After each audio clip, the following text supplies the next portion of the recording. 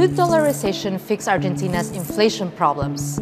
More than a dozen economists are pushing a new proposal to permanently swap Argentina's currency for the dollar.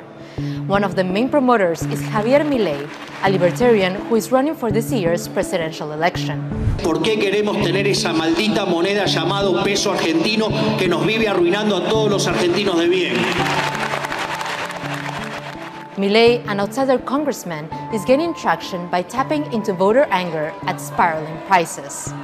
Inflation is hovering at over 100%, and the peso has lost 91% of its value against the dollar since the crisis erupted in 2018. Milei's proposal is based on the vision of Emilio Ocampo, a former Wall Street investment banker and author. Argentina needs dollarization as a solution uh, to the problem of inflation because we have tried almost everything. We're a huge laboratory of macroeconomic policies and, and nothing has worked and we're an extreme case. Economists like Ocampo argue that dollarization is already taking place in Argentina as people save and make purchases in dollars.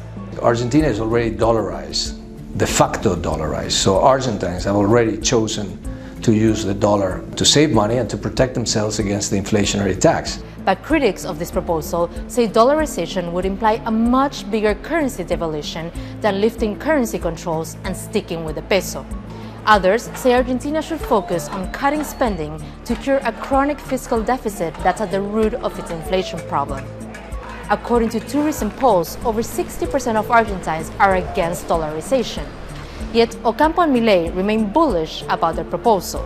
Argentina, if it goes to, if it dollarizes, it will dollarize because it basically has no other option.